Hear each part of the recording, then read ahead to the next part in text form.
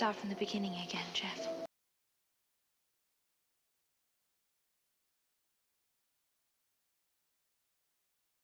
And a hearty welcome to one and all. This is episode 191 of the Confessions of a Not So Dangerous Mind podcast. I'd like to thank you all for spending some of your Monday evening with me here in New York. If you check out this episode on the YouTube channel, haven't done so already, please click like, subscribe, comment, share, turn on those notifications. Or if you catch this episode on the audio platforms such as Spotify or iTunes, same general rule applies. Click like, subscribe, share, turn on those notifications. So today marks 116 years since easily one of the acting goats and a genuinely, by almost all accounts, a genuinely great human being, James Stewart. Now, many know him for It's a Wonderful Life. That that's the movie they think of first when they think of James Stewart. And he lived a long life. He was 89 when he passed he's been gone 27 years. He died just before 4th of July, 1997. When I think of James Stewart, It's a Wonderful Life is way down on the list of movies. Because as a film historian, theoretician, if you will, It's a Wonderful Life is important only in the sense that it is a classic Hollywood holiday film. And there's nothing wrong with that. But if you ask me which is the better James Stewart movie, It's a Wonderful Life or Mr. Smith Goes to Washington, it's Mr. Smith Goes to Washington. In my estimation, it's not even close. It's a Wonderful Life certainly made a like I don't I don't know if this is where I don't know the history. If it was a huge movie from the start. And I don't mean box office. In this instance, I mean how long before it became a Christmas standard. That I don't know.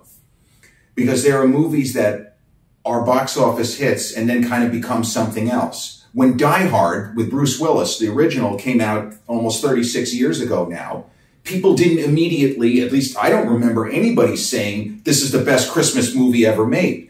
Same thing when we all became fans of the first Lethal Weapon, which came out the year before, Die Hard. I don't remember everyone saying, oh my God, this is the next Christmas classic, only it's an R-rated action film. Sometimes movies take a while to build an audience and to build a reputation for being in a certain niche.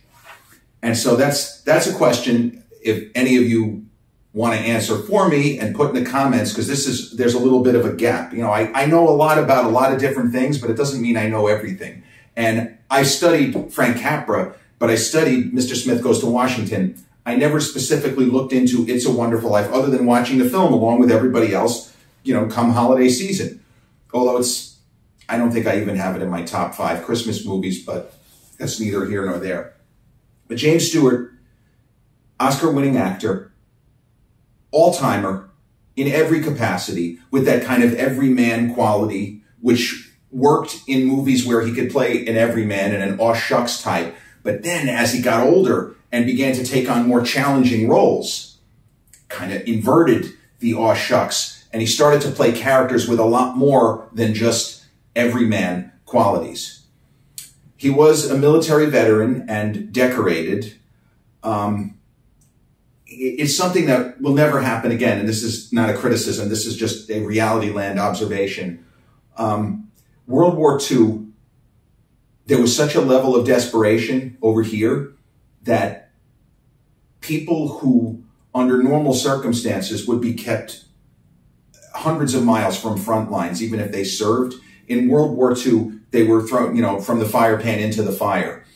And when James Stewart was in the military, right around the same time, I don't think they ever served together, but the baseball, uh, the famous baseball player Ted Williams uh, was a fighter pilot, and you know you start calculating ridiculous stuff like of all of the celebrities who served, who was the best soldier, or who did the best, or who ha had um, cross medal for valor, silver star, all of this sort of stuff.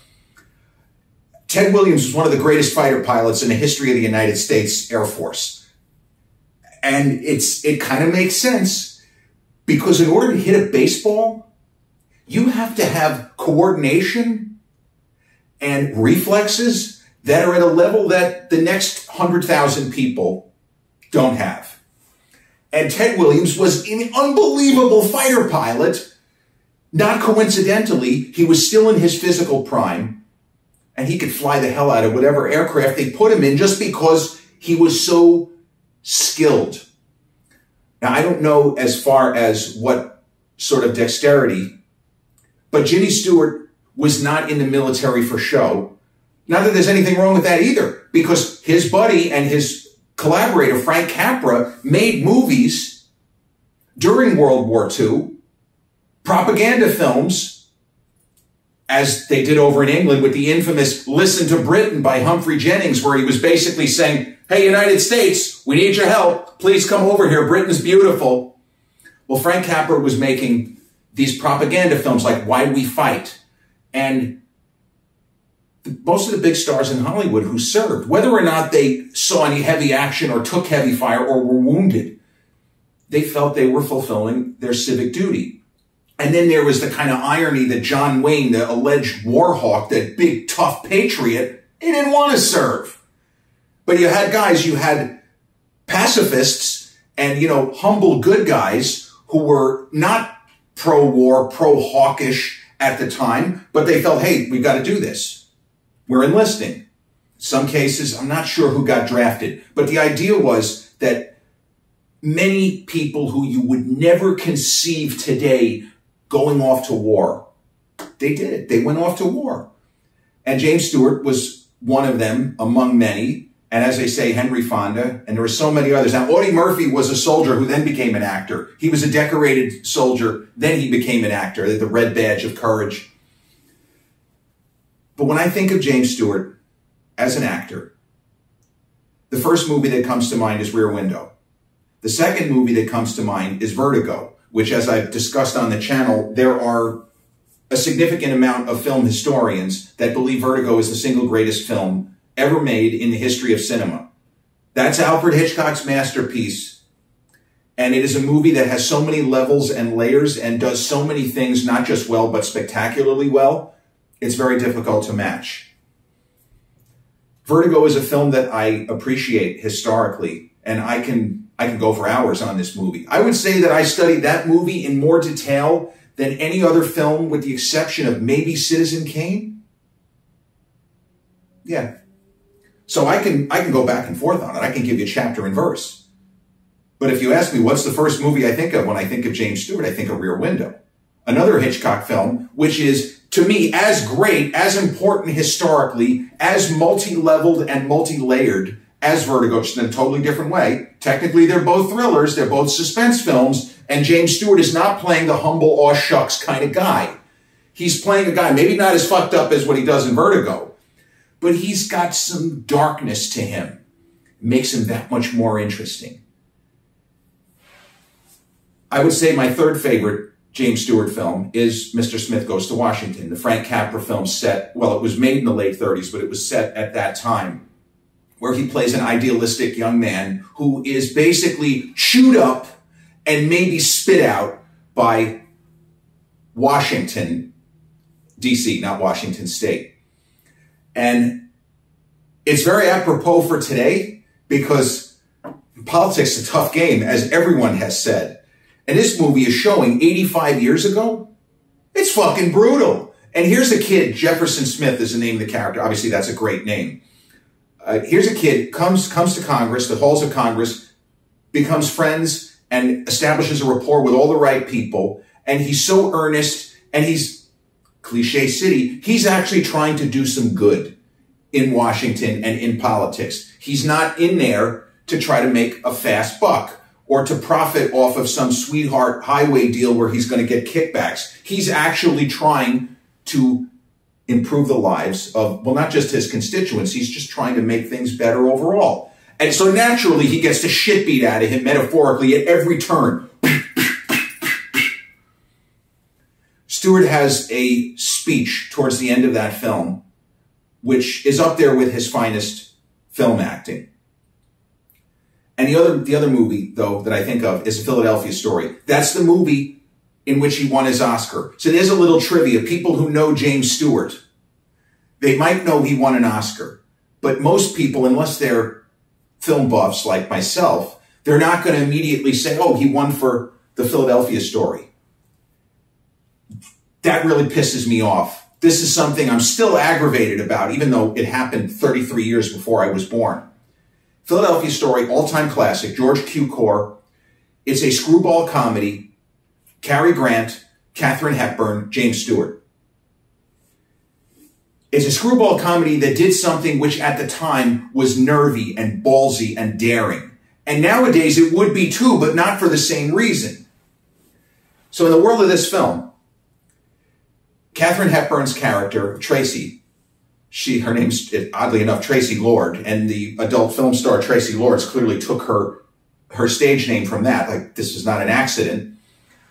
Um, she's marrying a, a young uh, kind of social climber, a guy who has busted his ass, came from nothing, and has made a big success of himself.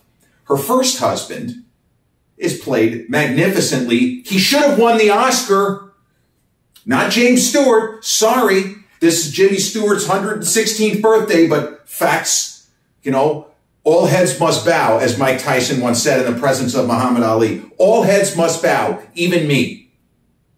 All heads must bow. Cary Grant acts everyone off the screen in the Philadelphia story. But he plays Tracy Lord, apostrophe S, first husband, the marvelously named C.K. Dexter Haven.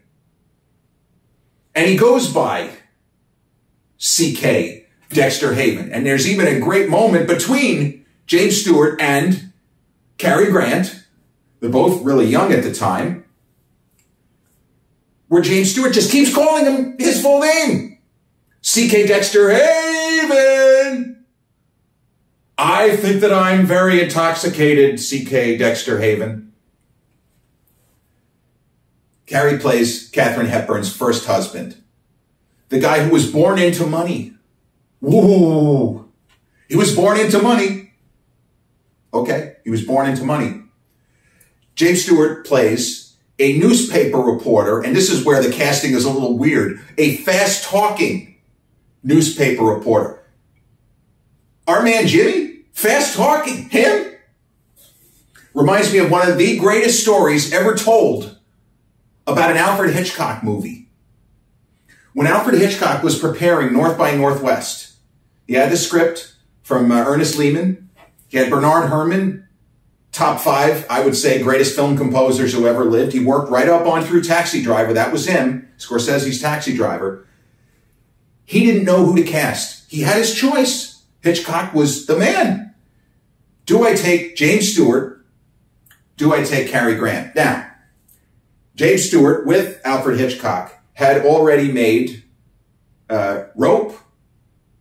He had made uh, Man Who Knew Too Much, Rear Window, and Vertigo. With Cary Grant, he had made Suspicion, Notorious, To Catch a Thief. And Alfred wasn't sure about North by Northwest. So he asked his screenwriter, Ernest Lehman, he said, Ernie, I don't know what to do. I got both guys ready to go. I sent out a cable to Cary and to Jimmy. I don't know what's going to happen. Who do you think I should cast? And according to legend and according to history, and this is apocryphal, but it's probably close to the truth, Lehman said, Cary. And Hitchcock said, Oh, why? Because there's a shit ton of dialogue for Roger Thornhill. If we cast Jimmy Stewart, the movie's going to go on forever. It's going to go on forever because he was a guy who took his time getting his lines across. He was not fast talking, which is why casting him as a fast talking reporter in the Philadelphia story, that was ridiculous even then. But he does his best. He plays a fast talking reporter, Macaulay Connor, who is a, yet another guy circling Katharine Hepburn. So the ex-husband, Cary Grant, C.K. Dexter Haven, still loves her. George, her soon to be husband loves her. And Macaulay Connor, James Stewart's character, he falls in love with her. So Katharine Hepburn in the catbird seat, as they say. You got two home run hitters and then the guy that she's going to marry. But where the movie takes what was considered an enormous risk at the time, the more we get to know C.K. Dexter Haven, the more we realize this guy is, he's a great guy. This is a genuinely good person here. So what if he was born loaded? That wasn't his fault. We shouldn't judge him just on that. How does he treat people? Very well. How's his manner? Very good. How's his temperament? Splendid. Well, what about the guy that Katharine Hepburn's marrying? The social climber, the underdog, the Rocky Balboa type character who makes good. Guy's a fucking asshole. Fuck that guy. That's basically what the movie is telling us.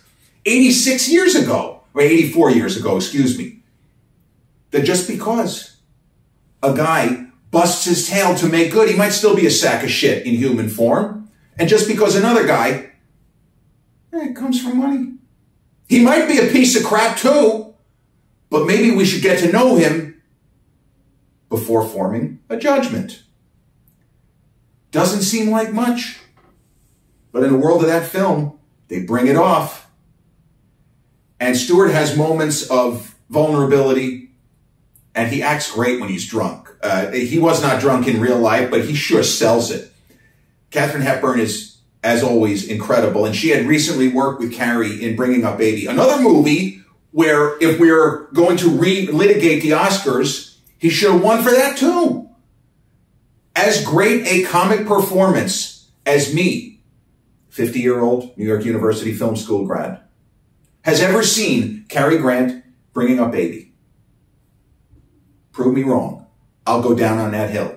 There has never been anybody better than Cary in that movie. And then in the Philadelphia story, playing a completely different kind of guy, very intelligent but refined, not the sort of raggedy, brilliant scientist, but the guy is all over the place. He doesn't even deliver his lines the same way. But Philadelphia story, phenomenal film. It's all over streaming. You got to see it. Just for the three principles. Three of the all-time goats. Jimmy, Cary, Kate.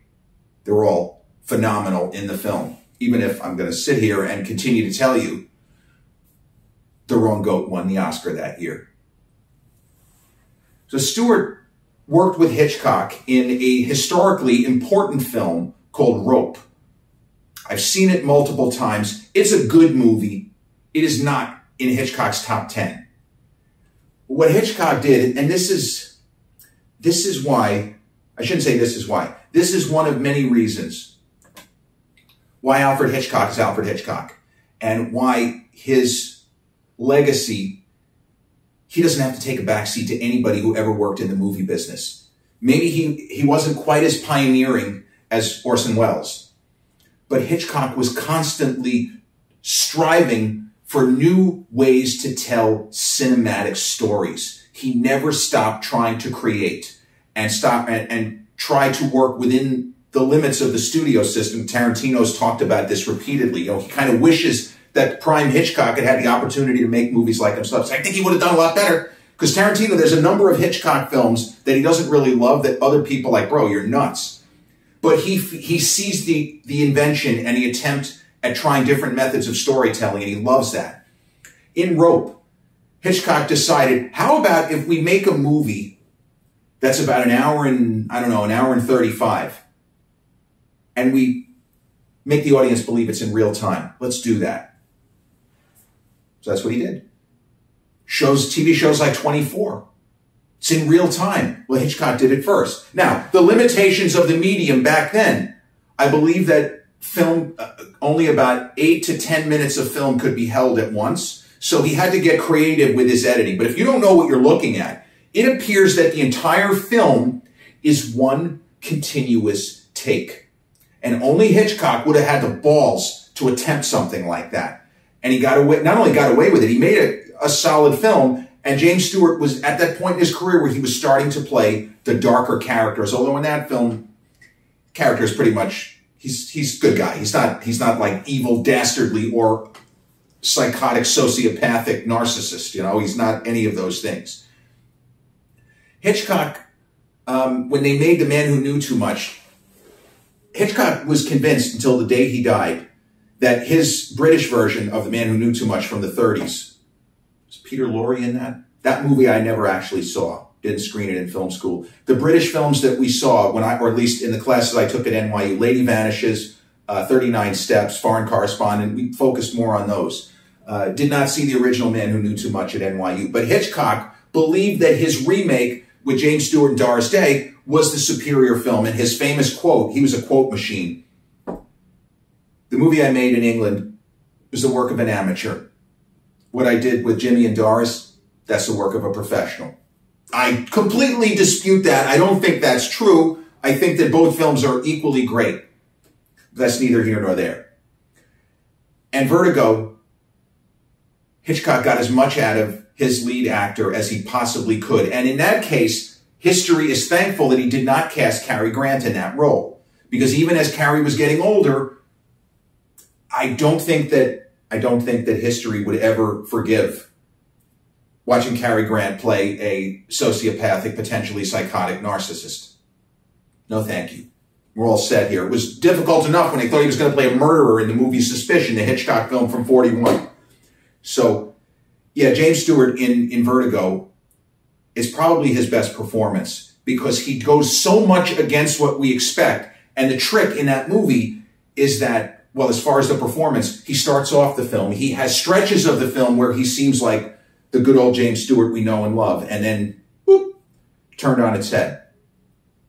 But I want to focus on Rear Window.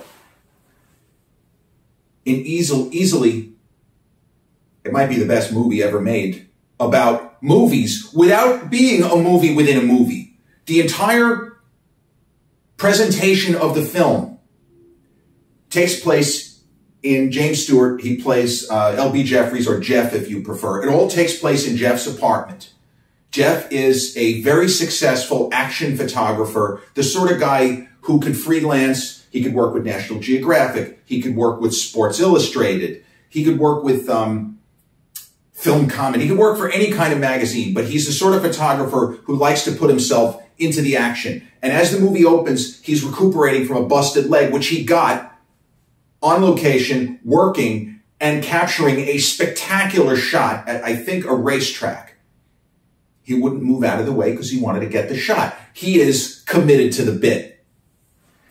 He spends most of the movie with his leg extended at a certain angle. He's got at least another week with the cast on. It's just not quite ready to come off. It's 90 degrees every day. There's no air conditioning. The apartment is burning. There's no social media. There's no cell phones. There's no cable TV. There's barely regular TV. You get three shitty channels and reception is poor. Life is difficult for LB Jefferies. He has nothing better to do while he's suffering. And his nurse comes in and she busts his chops nonstop. She's correct, but she still busts his chops nonstop. He starts spying on his neighbors across the courtyard in his, you know, the kind of apartment complex. I guess it's probably the Upper West Side, but we're not really sure, and it, it doesn't really matter. He starts watching, passively watching this neighbor, Miss Torso. She's hot. She's a good dancer. We got the newlyweds over here. Wink, wink. We know what they're doing. Ha, ha, ha. We have Miss Lonely Hearts. She's a nice enough looking lady, but she appears to maybe be an alcoholic, and there's a tragic element to her. There's a guy who's composing, and he's watching the, oh, and here's a traveling salesman with his wife, who I think might be an invalid, and there are a few others. He's sitting and watching and can't exert any effect on the outcome. He can merely sit and watch and get his jollies out of this. Well, when you're in an audience at a movie theater, when you're at home watching on TV, you're the exact same as L.B. Jefferies in this film until the very end. Won't spoil it for those who haven't seen it. This is a top 10 probably greatest film ever made. What James Stewart, though, does here, I believe he's playing older because in real life, as incredible as it seems, because if you watch the movie, to me, he looks grandfatherly, and he's several years younger in this movie than I am now. Because people just age differently then. I don't know. Or maybe he looks younger than me. I who the fuck am I to say this, right?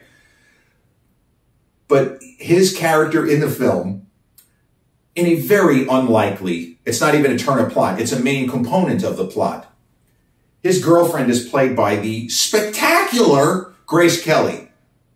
She unfortunately didn't have very much further to go in the movie business. By 1956, she had met Prince Rainier and retired. But Grace of this era was working very, very diligently. High society, you know, high noon. She was working frequently. And she brings out the best in him in this film. And I feel like sometimes because Grace Kelly was just so spectacular looking, she doesn't get enough credit for what she could do as an actress. And in this movie, she really does get more out of James Stewart than maybe even Hitchcock expected. So the character of L.B. Jefferies, yes, he's frustrated. He doesn't want to be in this fucking wheelchair, but he doesn't have a choice.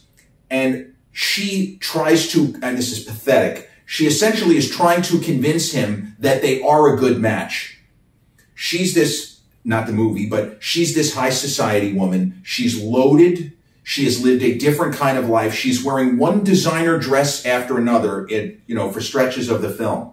And he's a guy who will be in the jungle with, you know, getting rickets and scurvy. And he's like, yeah, it's just part of the job. He wants her to understand that's the life we're talking about. And she, over the course of the film, wants to show, hey, I am every bit as capable as you are. Just because I haven't done it yet or haven't been given the opportunity it doesn't mean I can't get my hands dirty, that I can't get my feet wet. And so she, not even angrily, but with a bit of smoke and a bit of an edge, she sets out to prove to him, hey, fuck you. I want to marry you. We're right for each other. And one way or another, you're going to realize it. And in the world of the film, he does. And she does.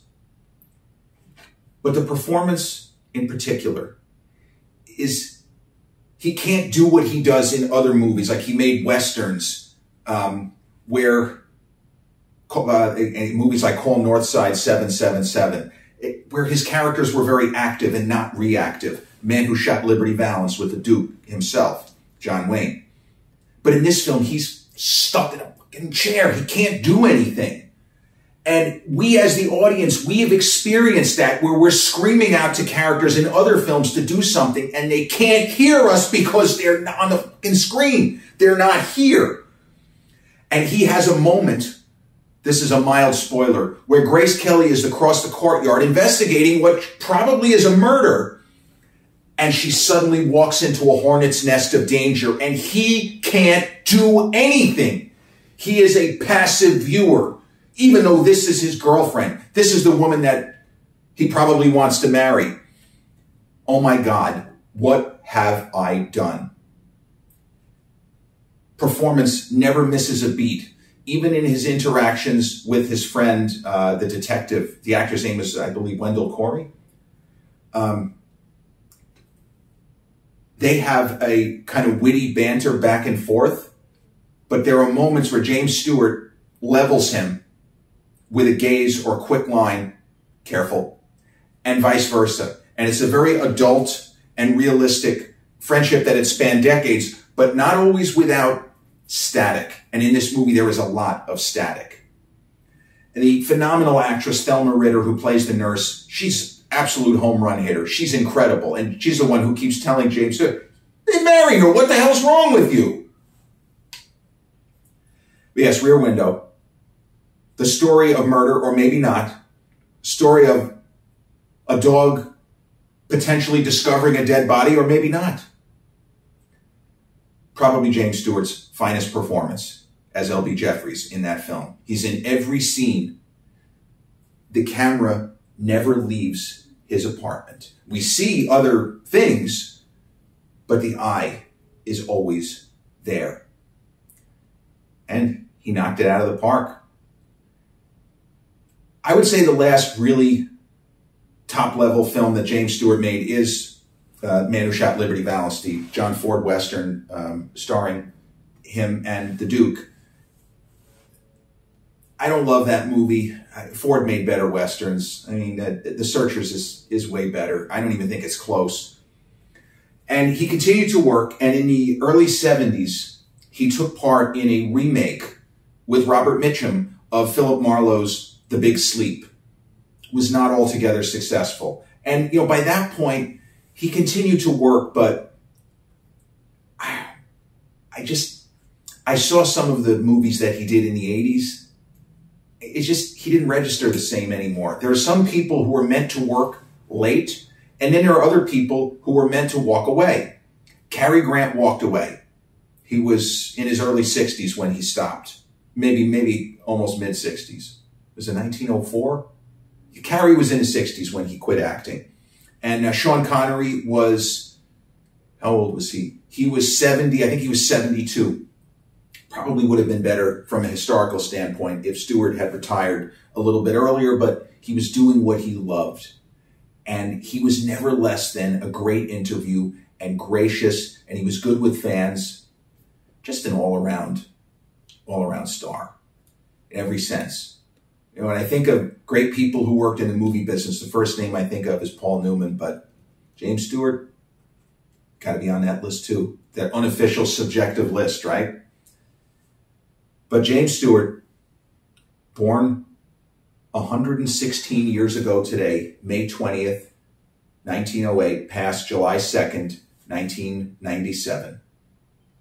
This has been episode 191 of the Confessions of a Not So Dangerous Mind podcast. I'd like to thank you all for joining me on this Monday evening here in New York. If you caught this episode on the YouTube channel, haven't done so already, please click like, subscribe, comment, share, turn on those notifications. Or if you catch this episode on the audio platforms such as Spotify or iTunes, same rule applies. Click like, subscribe, share, turn on those notifications. I'll be back with episode 192 real, real soon. Till then, peace.